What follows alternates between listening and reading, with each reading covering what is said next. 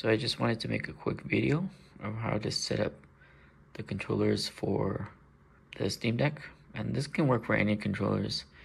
Uh, I tried it with uh, four uh, PS5 DualSense controllers and also the ones I have here, uh, which is uh, the official Nintendo Pro Switch controller. Um, an, an off-brand one and two Stadia controllers. So as you can see on the screen, uh, first player is already in, which is this one. And then for this, I'm gonna go in and this works.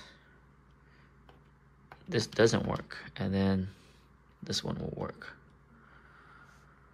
So I noticed this issue that one control would always not work, and it's basically you have to reorder them.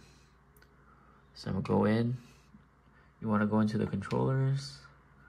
Go to controller and then you want to go to reorder. And then for this one you're going to want to do uh, one two four five and then six. So the steam deck controller you have to change this to six. So has to be five and this one has to be four. Yeah, you have to set it one, two, four, five. And this the Steam Deck controller can be six. And afterwards, this will work.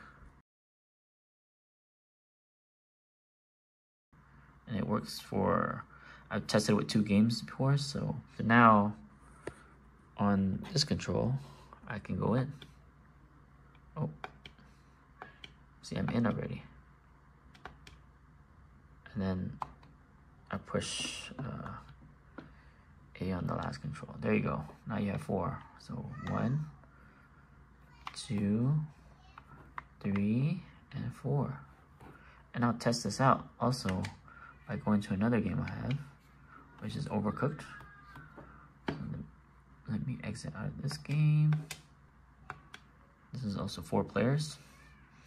And in here, since we already set up our uh, controller order, it should just work with four now.